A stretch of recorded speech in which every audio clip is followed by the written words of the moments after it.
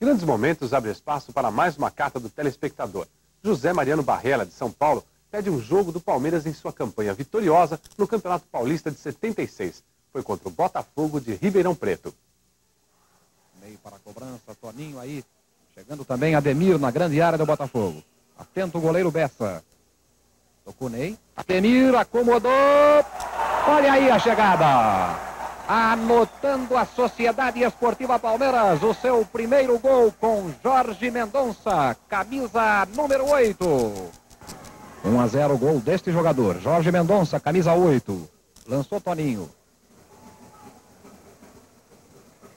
Ney na bola com Vanderlei. Limpo. Ney cruzou. A chance do Palmeiras. Olha o segundo aí. Jorge Mendonça outra vez para a equipe do Palmeiras.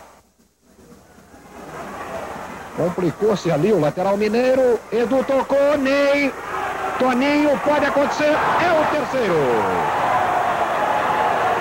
Toninho, camisa número 9, ampliando para o Palmeiras no estádio Palestra Itália. Zero para o Botafogo de Ribeirão Preto. Rosemiro lançou a Edu. Celso. Edu insistiu. Olha aí, pênalti. Autorizado Edu, camisa 7. Olha aí.